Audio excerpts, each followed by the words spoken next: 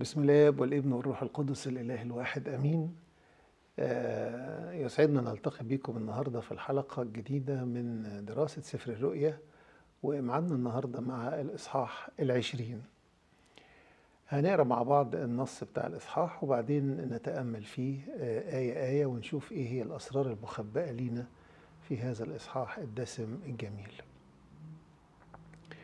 ورأيت ملاكا نازلا من السماء معه مفتاح الهاوية وسلسلة عظيمة على يده. فقبض على التنين الحية القديمة الذي هو إبليس والشيطان وقيده ألف سنة. وطرحه في الهاوية وأغلق عليه وختم عليه لكي لا يضل الأمم فيما بعد حتى تتم الألف سنة. وبعد ذلك لابد أن يحل زمانا يسيرا.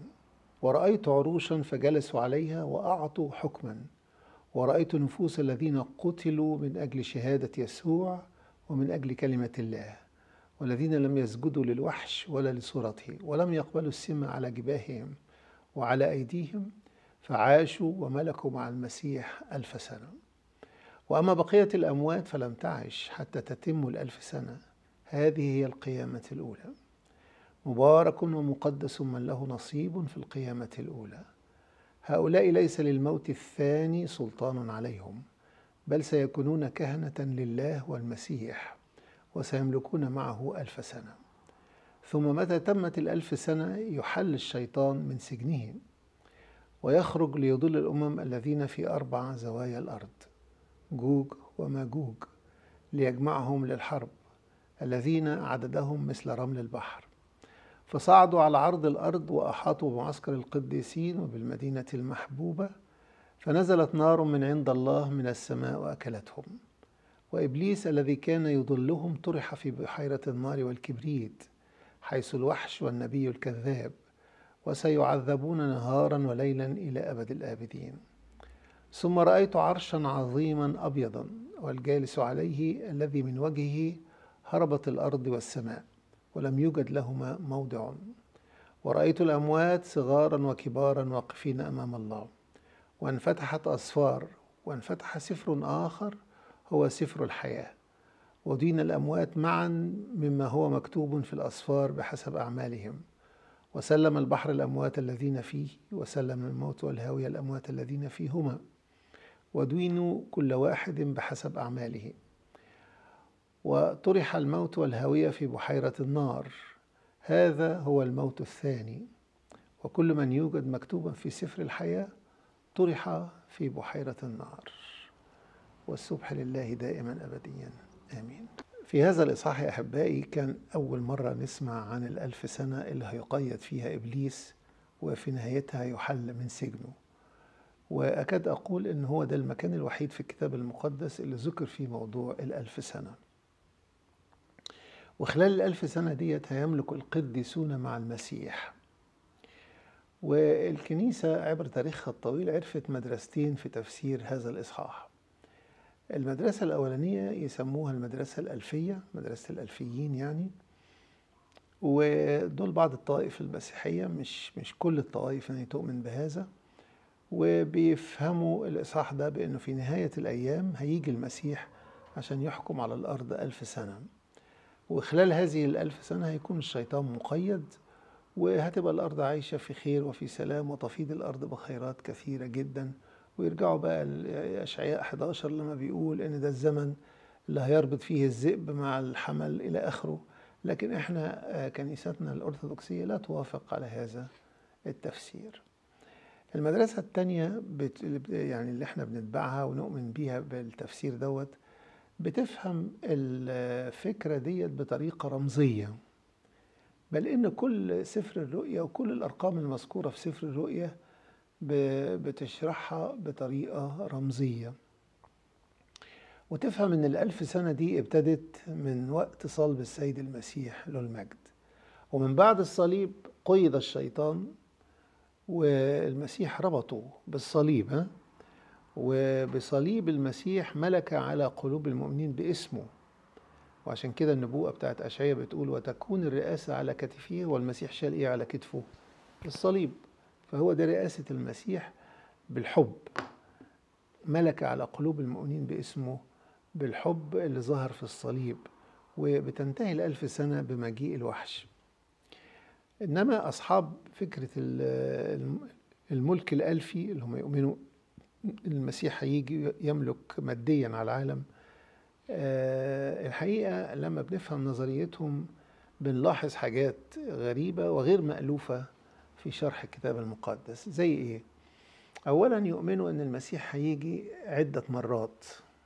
مثلا في المرة الأولانية اللي هي المرة اللي جه وصلب ومات وقام من الأموات وصعد إلى السماء. دي المرة الأولانية. المرة الثانية اللي هو هيأتي لكي يختطف القديسين. على السحاب وهيترك الأشرار على الأرض وتحصل بينهم حروب طاحنة تنتهي بفنائهم جميعا يخلصوا على بعض يعني. المجيء الثالث بقى حسب نظريتهم يعني إن بعد خراب الأرض وفناء الأشرار هيجي المسيح مرة ثالثة ويملك مع القديسين لمدة ألف سنة. ودي بقى السنة اللي هيكون فيها الخير يعم على الأرض ويكون فيها السلام ويكون مركز حكم المسيح في الهيكل اللي هو في أورشليم يعني. ويقولوا أن اليهود هيكون لهم وضع مميز في هذا الوقت وده اللي بيخلينا نفهم مين هم أصحاب يعني اللي وراء هذا التفسير. المجيء الرابع بقى اللي بيؤمنوا بيه ده بقى للدينونة بقى المرة اللي هيدين فيها العالم يبيت فيه الوحش. لما بنتبع هذا التفسير بنلاحظ إن آه كلام كلام غريب كلام عجيب شوية. إيه معنى إن المسيح بعد ما يتصلب ويموت ويصعد للسماء وكده يرجع عشان يحكم على الأرض حكم مادي ملكوت أرضي يعني وبعدين ينسحب منه يطلع السماء تاني ويسيب الشيطان يضل العالم؟ ها؟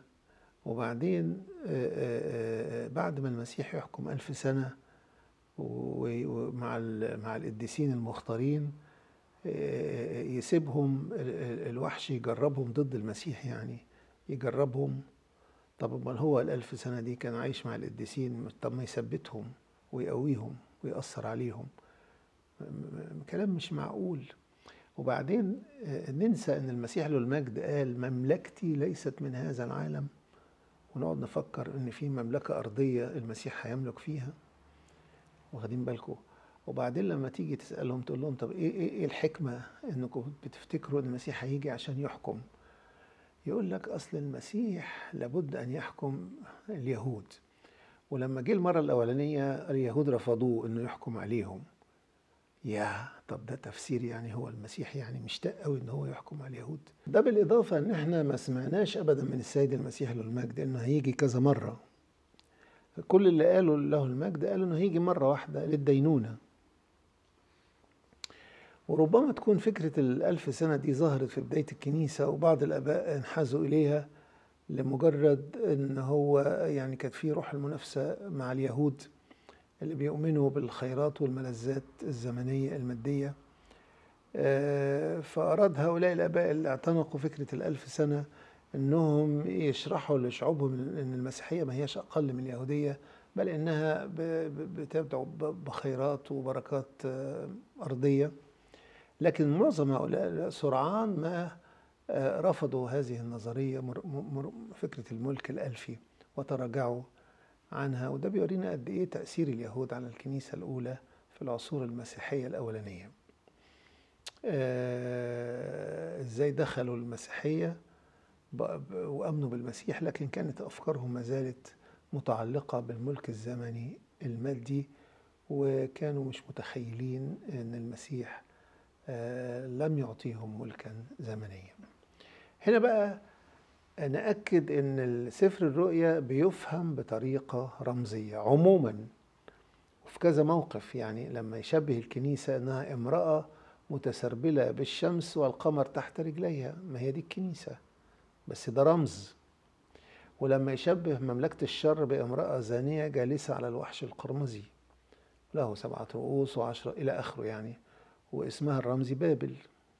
ولما يشبه الكنائس والآباء الأسقفة بالمناير والأسقفة يشبههم بالكواكب. أو مثلا لما يشرح لنا إن الشيطان قيد بسلسلة. طب هو الشيطان ده روح إزاي هنربطه بسلسلة؟ ولكن يعني رمز رمز. ما نقدرش نفهم الحاجات دي بطريقة حرفية مادية. وبعدين مثلا يقول إيه له مفتاح الهوية. طب هي الهوية ليها بوابة وليها مفتاح. لا لكن يقصد معنى رمزي طريقة رمزية. الحديث عن هروب الأرض والسماء من وجه الله لها معنى روحي وليس معنى حرفي. وبرضو طرح الموت والهوية في بحيرة النار ده تأكيد لعدم حرفية السفر بل له معنى رمزي. لذلك بنخلص من كل هذا إن حكاية الألف سنة ما نقدرش نفهمها بطريقة حرفية ولكن بطريقة رمزية. ومعنى إن الألف سنة ابتدت بصلب السيد المسيح وتنتهي بمجيء ضد المسيح وفيها بيملك المسيح الكنيسة معناها إن رقم ألف ده رقم السماوي رقم السماء ولما الملائكة بيعبروا عن عددهم بيقولوا ألوف ألوف وربوات ربوات والربوة عشر تلاف هو مثلا لما يقول عدد المخلصين 144 ألف إيه معنى الرقم ده؟ 12 ده العهد القديم اللي هو 12 سبت و12 ده العهد الجديد ال 12 تلميذ و12 في 12 144 وألف هي السماء ف 144 ألف هم المخلصين اللي هم آه، من العهدين العهد القديم والعهد الجديد. ولكن عامة نحن نؤمن أن الكنيسة بعد صلب المسيح وقيامته وصعوده الكنيسة عايشة في السماء بدليل أما نيجي نصلي بنقول أبانا الذي في السماوات. بنتحدث إلى أب سماوي مش كده ولا إيه؟ ونقول إن المسيح عريس الكنيسة جالس عن يمين الآب. ونقول على الكنيسة هي عروس المسيح والمسيح في وسطها دائما. فلو المسيح دائما في وسط الكنيسة فهو سماوي. أتى من السماء وصعد إلى السماء والكنيسة من بعد المسيح تحيا في السماء. وحيثما يوجد المسيح توجد السماء. ومعلمنا بولس الرسول قال أقامنا معه وأجلسنا إيه؟ في السماويات. وقال وإن سيرتنا نحن هي في السماويات. واخدين بالكم؟ وقال إن حربنا حرب آه، إبليس ضدنا هي في السماويات اللي بنحيا فيها عشان يسقطنا منها. ده جزء. الجزء الثاني إن إحنا في إيماننا المسيحي. بنؤمن بالباب الضيق بنؤمن بالطريق الكرب المؤدي للحياة الأبدية والمسيح قال لنا في العالم سيكون لكم ضيق. فالإنسان المؤمن المسيحي لا يشتهي له في العالم نصيب لا أكل ولا شرب ولا ملذات شهوة قلبه هي في السماء والعالم بضيقاته وملذاته تحت قدميه. زي ما قال معلمنا بولس الرسول لي اشتهاء أن أنطلق وأكون مع المسيح ذاك أفضل جدا. ف يعني قصة إن واحد يجي يفسر لنا بعد كده ويقول إن الشهداء والأبرار بعد ما انطلقوا إلى السماء هيرجعوا يعيشوا على الأرض تاني. بعد ما ذاقوا الراحة والنعيم في السماء هيشتاقوا للأرض تاني. والمسيح يتركهم بعد ألف سنة عشان الوحش يضلهم. بعد ما انتصروا وغلبوا ودخلوا السماء هيرجع تاني الوحش هيمتحنهم. اللي تذوق لذة السمائيات على الأرض وشعر بتفاهة الأرض وإنها نفاية مش ممكن أبدا يشتهي أنه يرجع يعيش عليها تاني. ولو قلنا لأبائنا الرهبان والسواح والمتوحدين إنكم هترجعوا للعالم تاني آه، ده شيء مش هيفرحهم ولا هيريحهم لأنهم وجدوا فرحهم وراحتهم في شخص المسيح بيشبعوا منه ويرتوي بيه. بعد ما تركوا كل العالم وملذاته مش هيرجعوا يفكروا فيه مرة تاني. وإيه معنى في العالم سيكون لكم ضيق اللي المسيح أخبرنا عنها؟ هل في مدة الألف سنة ولا يعني طب لو كانت في مدة الألف سنة كان المسيح قال إن قبل الألف سنة دي هيكون لكم ضيق لكن اصبروا لما تيجي الألف سنة هيختفي هذا الضيق. المسيح ما قالش كده. قال في العالم سيكون لكم ضيق. أنا قد غلبت العالم. فكل ملذات العالم وضيقاته كلها تحت أقدامنا. ففهمنا أن الأبدية التي بلا نهاية هي بلا أكل ولا شرب ولا نجوع ولا نعطش وإيه فايدة إن إحنا نقعد ألف سنة في خيرات نأكل ونشرب ونبدأ وبعد كده تنتهي النهاية الأبدية بتبقى صفر ملهاش أي قيمة. نرجع لنص الإصحاح. نقرا مع بعض الآيات الآية واحد واثنين وثلاثة. ورأيت ملاكا نازلا من السماء معه مفتاح الهاوية وسلسلة عظيمة على يده. وقضى التنين الحية القديمة الذي هو إبليس والشيطان وقيده ألف سنة. وطرحه في الهاوية وأغلق عليه وختم عليه لكي لا يضل الأمم فيما بعد حتى تتم الألف سنة. وبعد ذلك لابد أن يحل زمانا يسيرا. اللي له مفتاح الهاوية هو ده الرب يسوع نفسه ويقصد بكلمة الهاوية هنا الجحيم. يا إما هو الرب يسوع يا إما ملاك. يسوع كلفه بهذا الأمر خد منه هذا السلطان. والسلسلة العظيمة اللي على يده يعني ده رمز يشير لقدرة حامل هذه السلسلة على أنه يقيد حركة الإبليس في اضطهاد الكنيسة. فلا يعود يتصرف بسلطان وبجبروت زي ما كان قبل كده. وده المعنى اللي أشار لي السيد المسيح نفسه في حياته على الأرض وقال الآن يطرح رئيس هذا العالم خارجا وقال كمان في موضع آخر رأيت الشيطان ساقطا مثل البرق وما ننساش إن المسيح لما انتصر على الموت وقام قال أعطيتكم سلطانا أن تدوسوا الشيطان. فهو ده معنى تقييد الشيطان. لو جبنا طفل صغير في مدارس الأحد وعلمناه يا حبيبي أنت لما تخاف من الضلمة ولا تتخض ولا ترشم الصليب. كده أهو. دي دي فلسفة عظيمة إن الطفل الصغير ده لما رشم الصليب قيد الشيطان وهزمه. وضاع منه الخوف ودخل في سلام. فمعنى تقييد الشيطان هو إن الرب يسوع المسيح له المجد قيد الشيطان. زي مثلا لو في أسد وجه الصياد مسكه وحطه في قفص وقفل عليه. هو كده ما يقدرش إن هو يفترس أحد. واخدين بالكم؟ لكن لو واحد راح وحط إيده جوه القفص هيحصل له إيه؟ الأسد هياكله. هياكل ايده يعني. ولو فتح القفص ودخل عند الاسد الاسد هيبلعه. صح كده. واخدين بالكم؟ ادي المعنى يعني. يعني عمليا إن بعد الصلب حصل تغيير كبير جدا في حياة الإنسان. ناس تركت عبادة الأوثان وتحولت للإيمان المسيح بعدما قيد الشيطان. وبعدين لما بيقول إن على يده سلسلة يعني له سلطان إن هو يقيد إبليس في حربه اللي بيثيرها ضد الكنيسة. وأغلق عليه وختم عليه يعني ما عادش ليه كمال الحرية زي ما كان الأول. ولكن بعد ذلك لابد أن يحل زمانا يسيرا. وهنا بقى نسأل سؤال جميل جدا ونجاوب عليه. ليه؟ لماذا يحل الشيطان؟ نقول ليه؟ في نهاية الأيام هيزداد الارتداد والإثم والفتور وتبرد محبة الكثيرين. والمسيح نفسه له المجد قال إن هو لما يأتي لعله يجد الإيمان على الأرض. شوف لدرجة إيه؟ وكمان معلمنا بولس الرسول في تسالونيكي شرح لنا إن لا يأتي إن لم يأتي الارتداد. الارتداد اللي هي الناس تتراجع عن إيمانها بالمسيح. فمع كثرة الاسم يتحول الناس عن البعد عن الإيمان ولا يطلب أحد الإيمان بالمسيح أو يريد أن هو يعيش في الإيمان. فالناس تحارب بعضها وتتكالب تتهاتف على الشهوة والأموال اقتناء الأموال والجنس إلى آخره.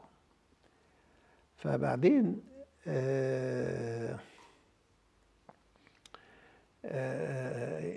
بقى ربنا يحل الشيطان عشان يبان الناس على حقيقتها يشوف مين هيتبع المسيح بصدق ومين هينغمس أكتر في العالم. لأن الناس هيجربوا إن هو يعيش في العالم فهل يا ترى حياتهم في العالم هتشبعهم؟ هتريحهم؟ هيبقى عليهم سمة الوحش؟ يقدروا يبيعوا ويشتروا زي ما هم عايزين ولكن هيفقدوا سلامهم الداخلي. ويندموا على إنهم لم يعيشوا حياة في الإيمان بالمسيح ويتألموا من الوجع والندم ويصرخوا مع أشياء النبي يقولوا له أيها الرب إلهنا قد استولى علينا سادة سواك. يتبكتوا يندموا. ده اللي يفهم ويتوب. لكن المعاند اللي هيستمر في عناده مصيره الهلاك. لكن اللي يتوب هيبقى مصيره الفرح ليس في أمور هذا العالم المادي الزمني ولكن في علاقته وارتباطه بالمسيح. نكمل ابتداء من العدد أربعة وخمسة وستة نقراهم مع بعض. ورأيت عروشا فجلسوا عليها وأعطوا حكما. ورأيت نفوس الذين قتلوا من أجل شهادة يسوع ومن أجل كلمة الله الذين لم يسجدوا للوحش ولا لصورته ولم يقبلوا السمع على جباههم. وعلى أيديهم فعاشوا وملكوا مع المسيح ألف سنة. وأما بقية الأموات فلم تعش حتى تتم الألف سنة. هذه هي القيامة الأولى. مبارك ومقدس من له نصيب في القيامة الأولى. هؤلاء ليس للموت الثاني سلطان عليهم بل سيكونون كهنة لله والمسيح وسيملكون معه ألف سنة. الجزء اللي قريناه ده لاحظنا فيه مرت في الموت الأول والموت الثاني والقيامة الأولى والقيامة الثانية. نفهم مع بعض إيه هو الموت الأول وإيه هو الموت الثاني. الموت الأول اللي هو موت الخطية. كل إنسان خاطئ هو ميت في نظر الله بيعيش بعيد عن الله منفصل عنه فبالنسبة للحكم عليه بيبقى ميت. الموت الثاني هو الموت الأبدي يعني الهلاك أو الانفصال التام عن الله والدينونة. لكن هو موت الجسد يعني لما واحد يموت بالجسد دي هو ده انتقال. إحنا لا نعتبر موت الجسد ده موت يعني هو انتقال. زي المسيح ما اتكلم على العازر لعازر حبيبنا قد نام. وبعدين لما دخل بيت ييروس عشان يصلي لابنته اللي كانت ماتت ما قالش ماتت قال إيه؟ الصبية إيه؟ نائمة. فده نوم. هنيجي بقى للقيامة. إيه هي القيامة الأولى والقيامة الثانية؟ القيامة الأولى اللي هي الإنسان يتوب عن الخطية. التوبة عن الخطية كأنها قيامة. فالمسيح قال تأتي ساعة وهي الآن حين يسمع الأموات الأموات هنا روحيا الموت موت الخطية. صوت ابن الله والسامعون يحيون. هنا بقى دعوة بالتوبة وفي استجابة فكأن دي قيامة دي القيامة الأولى. فمثلا الابن الضال لما رجع أبوه قال عنه إيه؟ هذا كان ميتا فإيه؟ فعاش. وبعدين ملاك كنيسة سردس بيتكلم بيقول له إيه؟ لك اسم له اسم أنه حي وهو ميت. شفتوا إزاي؟ لذلك نفهم إن القيامة الأولى هي التوبة عن الخطية القيامة الثانية بقى دي اللي قال عنها السيد المسيح تأتي ساعة فيها يسمع جميع الذين في القبور صوته ويخرج الذين فعلوا الصالحات إلى قيامة الحياة والذين عملوا السيئات إلى قيامة الدينونة والحقيقة الكتاب المقدس لم يرد فيه عبارة القيامة الثانية لكنها فهمت ضمنيا يعني. لكن عموما الموت هو انفصال عن الله وما تفعله الخطية تفصل الإنسان عن الله فيموت الإنسان. لكن التوبة تقيم الإنسان من موت الخطية ويقوم إلى حياة جديدة. والمسيح قال كده كل من يؤمن به فله حياة أبدية. فالإيمان بالمسيح بيعطي الإنسان قوة وانتصار على الخطية والمسيح جه عشان يعطينا قيامة روحية نتمتع بيها أنفسنا قبل القيامة العامة في يوم الدينونة. لذلك إحنا بنقول إن الكنيسة النهاردة عايشة في الملك الألفي.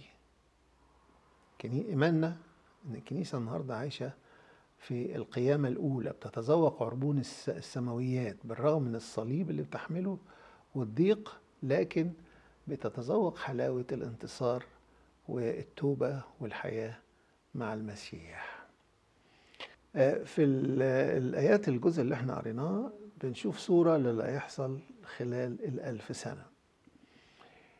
ففي شهداء قدموا حياتهم شهادة للمسيح ورغم إن دول بيختفوا عن أنظار العالم لكن هم أحياء لهم عروش ترتاح عليها نفوسهم.